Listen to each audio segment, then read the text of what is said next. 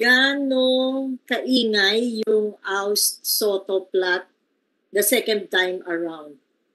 Wala naman. Actually, uh, as God as my witness, sinabi ko na to at uh, hindi ako magsisinungaling sa inyo.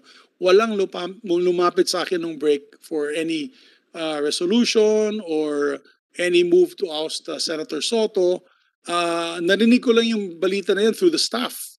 At baka chismis lang po yan. Baka staff lang ang nag-initiate. Alam mo minsan pag yung mga staff, 'di ba, nagiging overeager, gusto nila pong uh, tulungan ng kanilang mga uh, mga principals. So baka sila sila nag-usap, ay ano natin, mag-file tayo ng resolution. Pero baka hindi alam ng mga principals nila yon. So posible nangyayari yon. But uh, the president still has the trust and confidence of uh, the majority uh, and even, yes, the love and the trust of the minority. Uh, very close po yung uh, minority leader sa ating Senate President. So I think uh, it's safe to say at this point in time, pandemya na yon, bakit po tayo mag-aaway-away dito sa Senado? We have to pass so much uh, measures para mabuhay muli ang ekonomiya, para mabigyan ng ayuda ating mga kababayan, lalo na ang discussions sa national budget.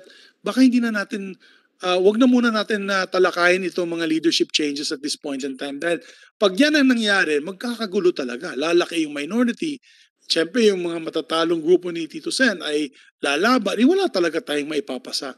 That's why my appeal is that we stop the discussions of all these leadership changes and let's focus on our job at hand. We only have three months left, uh, realistically. Uh, August and uh, September for this session.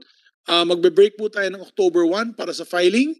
And then babalik po kami presumably first week of November hanggang third week of December. So talagang naiwan na lang is 3 months, 3 and a half months. So, kasi pagbalik po natin ng January, campaign ano na yan eh.